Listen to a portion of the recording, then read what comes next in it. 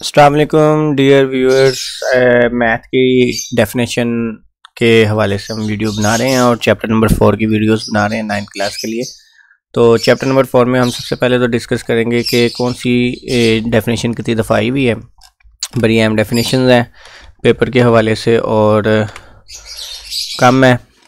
सिर्फ़ ग्यारह डेफिनेशन हैं जो पेपर में काफ़ी दफ़ा आई हुई हैं तो हम इसको देखते हैं। डिफाइन सर्ट मकदारुल सोलह दफ़ा डेफिनेशन आ चुकी हुई है।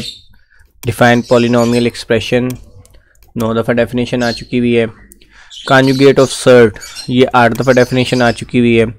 अल्जब्रिक एक्सप्रेशन ठीक है सेवन टाइम्स आ चुकी हुई है। पोलिनोमियल एक्सप्रेशन और अल्जब्रिक एक्सप्रेशन में फ़र्क है, ठीक है। मोनो मोनोमोनाइट डेफिनेशन फाइव टाइम आ चुकी हुई है। इसके अलावा ये है, इस, ये डेफिनेशन तो नहीं है, लेकिन आप इसको रहने दें। What is mean by the value of expression expression algebraic expression से क्या मराद है ये? अल्जब्रिक एक्सप्रेशन की ही डेफिनेशन है।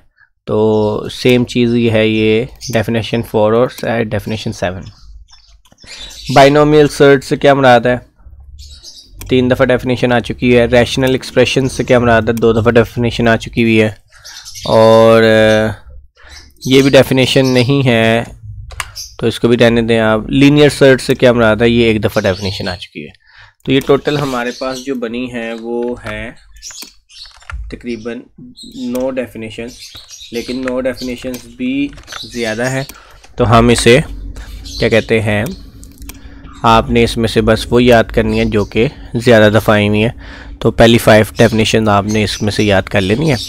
और इन आपको ये पेपर में उम्मीद है कि इसी में से आएँगी।